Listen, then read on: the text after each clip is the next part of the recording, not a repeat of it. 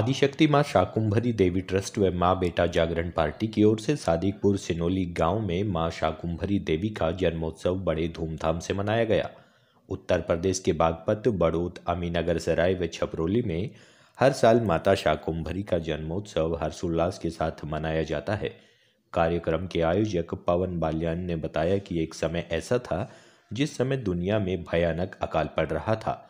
तब माँ शाकुंभरी की पूजा अर्चना से तेज बारिश हुई, जिसके बाद खेत खलिहान दोबारा हरे भरे हुए और जीवन की डगर आगे बढ़ी। तभी से माता शाकुंभरी देवी का जन्मोत्सव इसी हँसी खुशी के साथ मनाया जाता है। जी, दीपा, मैं नोएडा से आई हूँ और माता रानी के साल के जन्म उत्सव में हर बार माँ के दर्शन करने के लिए आते हैं और माता रानी की दुआ से हर काम अच्छा होता है और आशीर्वाद मिलता है। इससे क्या फ़ायदा होता है वैसे? और माता रानी की कृपा जब जब किसी पर हर किसी पर बरसती है और अच्छा ही रहता है सबके लिए। माँ का आशीर्वाद सब पर बना रहे हर मनोकामना पूरी हो और वो सच्चे दरबार की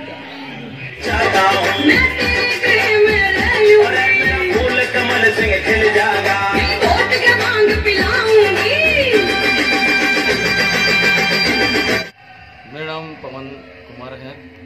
पवन जी क्या कार्यक्रम है? ये कार्यक्रम है माँ शाकुंभरी जन्मोत्सव। जी। हर वर्ष की भांति हमने इस साल भी मनाते हैं। इस साल भी हमने मनाया है। जैसे शाकुंभरी देवी मंदिर पर होता है सिद्ध पीठ शाकुंभरी में।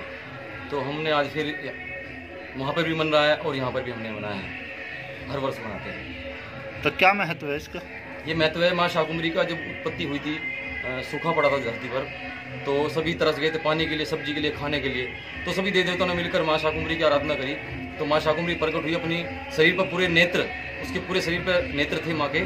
तो उनसे बारिश करके माँ ने वर्षा की थी और सब्ज़ी हरी भरी हो गई थी। तब से माँ शाक सब्जियों की देवी, माँ शाकुंभरी देवी।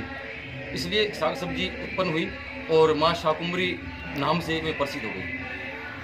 कितने लोगों ने भाग लिया कार्यक्रम में? इसमें करीब हमारी जो संगत है, ये माँ बेटा जागरण मंडल है और आदि शक्ति माता शाकुमरी देवी मंदिर ट्रस्ट है हमारा तो उसके सभी जो संगत मिलकर वे